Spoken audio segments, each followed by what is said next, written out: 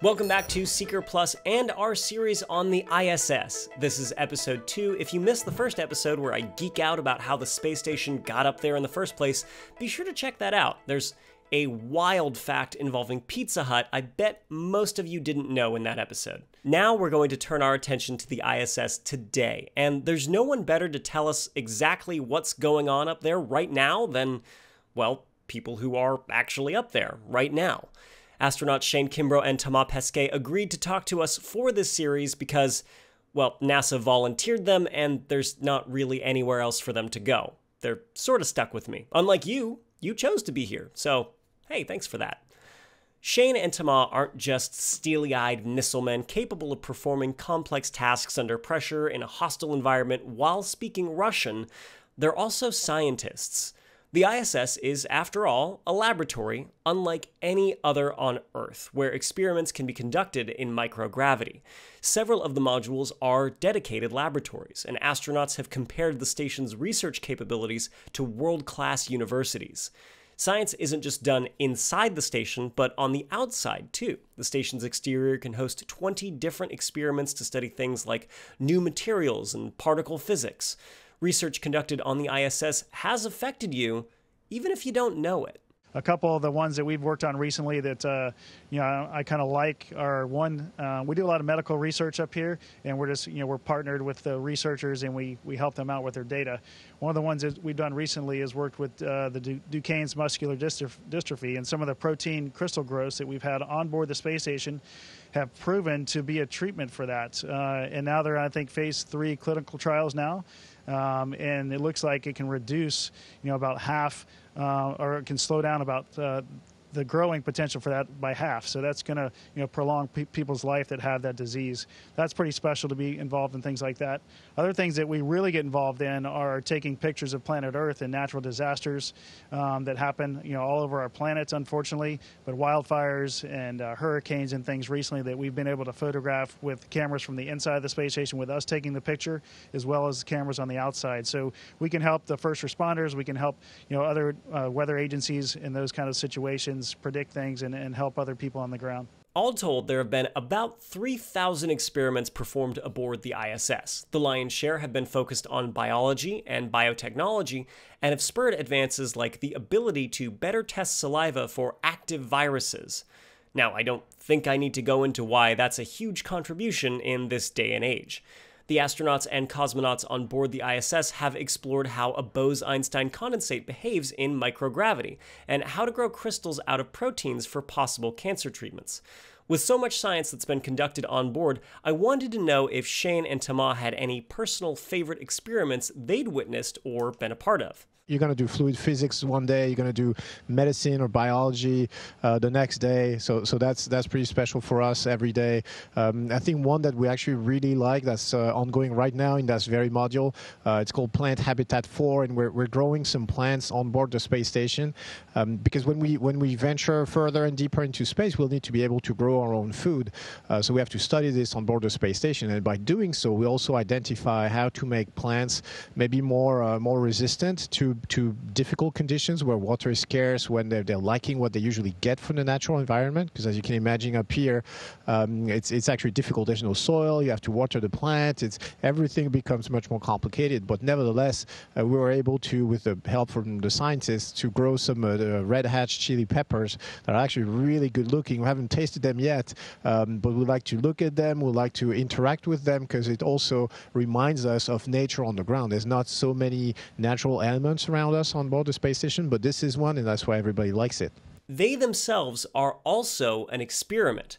Some of the greatest minds in history have dreamed of the day humanity spreads beyond the Earth, and some, like Stephen Hawking, have even suggested it'll be necessary for the survival of our species.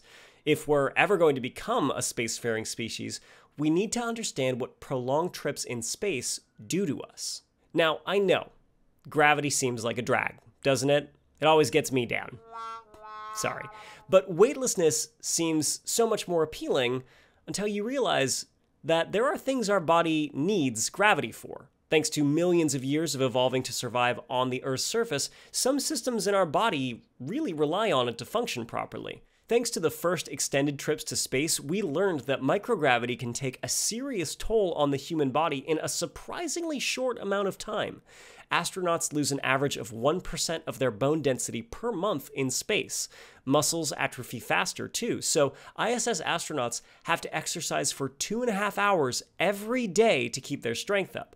Microgravity also causes fluids to shift up into their heads, putting pressure on their eyes and potentially hurting their vision. And of course, there's going to the bathroom. How does one, you know, go when there is no down?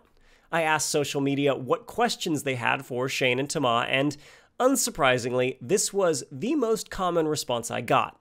Now, normally, I wouldn't ask these very important space scientists for the dirty details, but as it happens, the ISS just got a brand spanking new toilet. It cost $23 million to design and build, and it's supposed to be more compact and efficient, making it better suited for future crewed missions to the moon and beyond.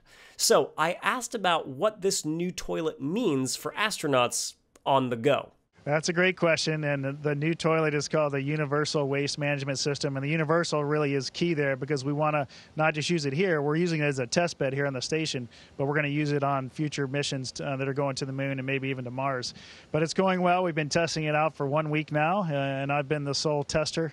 Um, so uh, things are going pretty well with that. Uh, and, you know, and it's great. The upgrade is kind of a, you know, it's smaller overall, smaller and lighter, which is great. Um, and so we've reduced the system almost by over half, actually, um, with the whole thing. That if you look at the toilet side by side with the current toilet, um, it looks bigger, but the whole overall system is much smaller. So we figured out a way to do that, which we're going to need if we're going to go in a smaller capsule, like we're intending to go to the moon here in the next few years.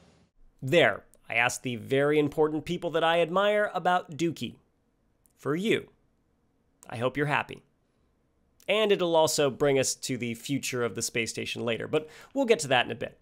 Okay, now that we're done with that bit, we're going to get off the pot. There are more concerns about prolonged space travel than what it does to our physical health. We also need to examine what it does to our mental state. I'm sure I don't have to tell you this, but staying cooped up in a confined space for an extended period of time can really take a toll on a person's psyche. Astronauts on the ISS typically spend six months on the station at a time, and the only privacy they get is when using the aforementioned commode.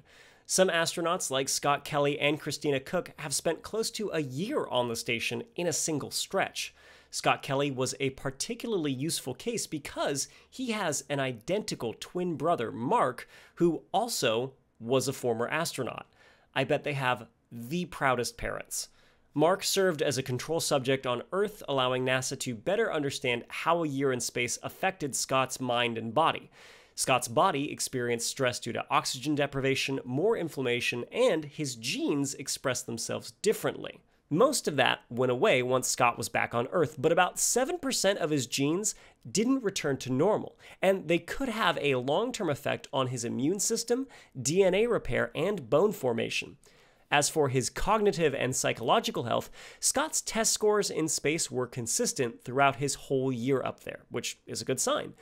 Interestingly, they dipped for six months when he got back to Earth, but the pain and difficulty that comes with readjusting to Earth's gravity may have something to do with it. Based on what they've seen, NASA is developing techniques to keep astronauts in a good headspace, like VR simulations of relaxing environments and new LED lighting systems that keep astronauts on a 24 hour rhythm. Getting good sleep is really important for somebody's mental health, and it can be a little disorienting when you see 16 sunrises and sunsets in a day, like Shane and Thomas do. Future Mars explorers will have to deal with the planet's day, which is 37 minutes longer than Earth's, but to me that sounds like heaven. 37 minutes is, what, like four snooze buttons worth of extra sleep? That's perfect for me. Company can also make a long journey more bearable, especially if you can't download podcasts, wink wink. And if it wasn't clear, Shane and Thomas were selected in part because of their personalities and their dynamic with each other and other crew members. NASA is refining how to pick the best crew possible to make sure the ISS doesn't become like one of those old sitcom episodes where squabbling roommates paint a line down the middle of their apartment. It's important that everybody up there can work together, regardless of their nationality or culture. It's also important that the space agencies and governments down here on the ground supporting them can work together too. So, while the ISS may play a big part in the future of humanity, it also plays a part in promoting peace and cooperation on Earth today. I think it's pretty significant. I think, well, first of all, you realize that everything that's ambitious now, it happens at an international level, and we need cooperation. Uh, it's very, very difficult to do ambitious things such as, you know, send humans to uh, uh, to the moon, send humans to Mars, uh, without international cooperation. So we'll need everybody to unite and to contribute something to a common endeavor. That's one.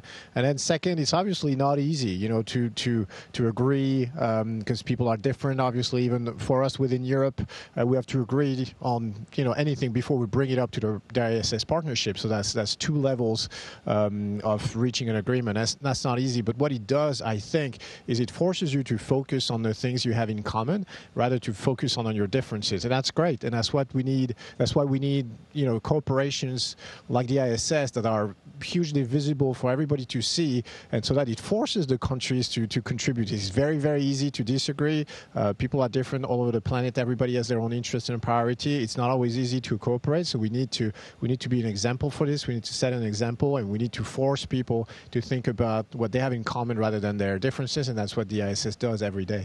So, what does the future hold for the International Space Station? How much longer will this global partnership last?